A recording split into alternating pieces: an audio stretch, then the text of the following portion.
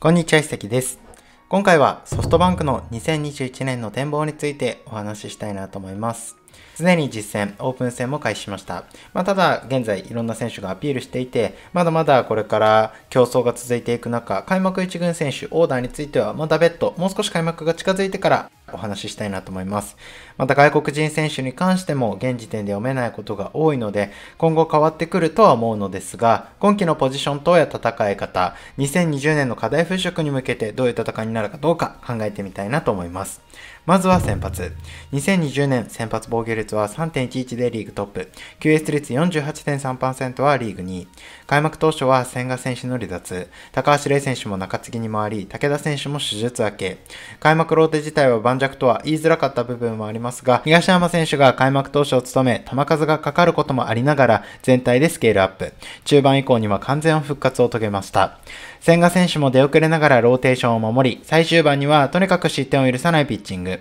本当にホークスにとって開幕延期は朗報でした。石川修太選手が多く試合を作り2桁勝利。シーズン途中には笠谷選手も先発。そして和田選手が長いイニングとならなくても多く QS。離脱や球数はかかってしまった印象も、ムーアが先発として実績通りの活躍。奪三振率は10.27。QS 率50%超えの投手が千賀選手、石川選手、ムーア、東浜選手。投手各タイトルもホークスの中で争うというような形が続いていました。バンデンハークや武田選手がローテーション定着とならないまでも盤石。12球団中で最も安定した先発を形成することができたのかなと思います。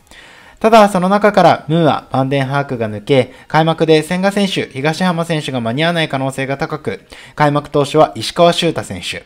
もちろん彼ら以外に候補で松本祐樹選手らもいますが、オフに手術した影響で開幕に間に合うかどうか不明、そもそも起用もまだまだわかりません。バンド選手も昨年に手術。18年に日ハムで10勝11敗、防御率3.51。19年は怪我で登板はなかったのですが、20年17試合で2勝7敗、防御率4.62ではありますが、三振も多く奪え、出力も高いマルティネスを獲得しましたが、彼の来日可否、例に関しても不明です。まあ、先発枠は現状かなり空いていて、石川修太選手、高橋玲選手、和田選手はほぼ確定だと思っていて、笠谷選手、泉選手、武田選手、杉山選手、二保選手、大竹選手らが残りの3枠を争う形。昨年の実績、先日の実戦の感じで、笠谷選手は濃厚かなと思っていて、復活を期する武田選手もアピール次第にはなりますが、濃厚かなと思います。その残り1枠を、泉選手や杉山選手と昨年中継ぎでアピール。強すぎる B チームとして活躍した投手たち。さらに開幕ローテ経験もある二保選手。昨年までファームで多く投げてきた大竹選手。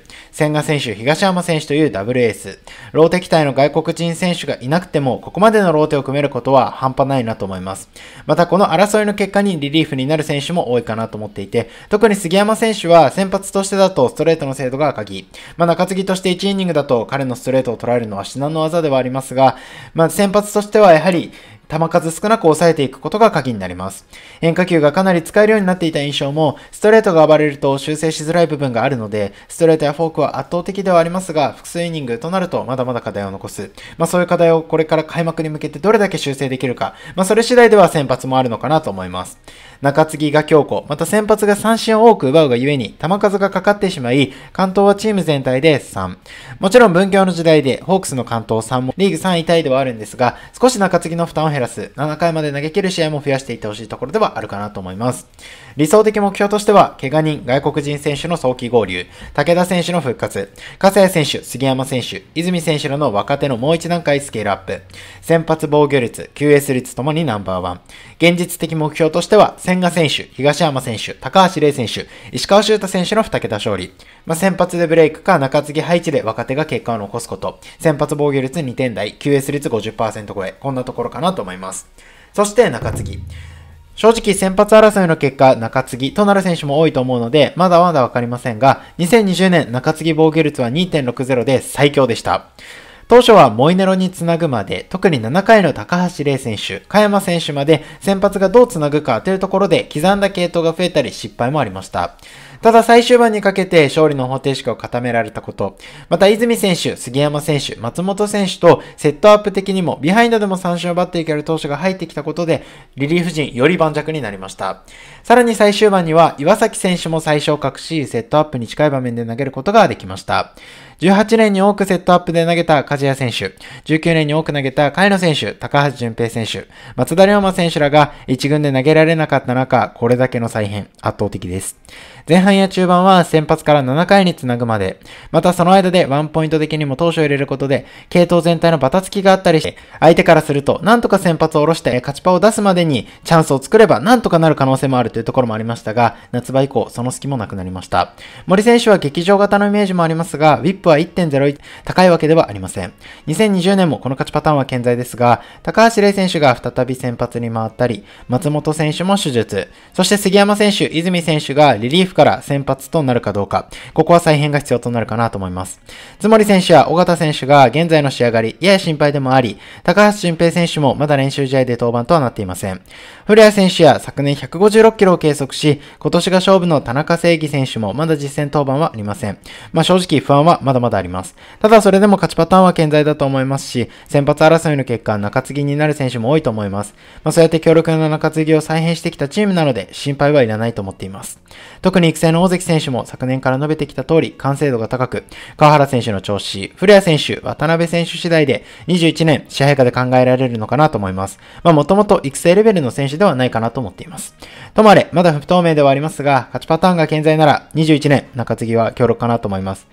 まあ、懸念とするのであれば、モイネルの5年契約がオフに切れるところ。だからこそ彼の後継的にもロドリゲスを獲得したわけで、少しずつ新たな形にしていく必要も出始めてくるかもしれない。というところかなと思います。理想的目標としては、中継ぎ防御率2.40近辺、古谷選手、田中正義選手、C の選手らのブレイク、勝利の方程式登板数60未満、脱モイネロ依存、現実的目標としては、中継ぎ防御率リーグトップ、勝利の方程式40ホールドポイント、40セーブ近辺、20年のように若手投手が1軍で飛躍を見せるところ、こんなところかなと思います。そして、野手。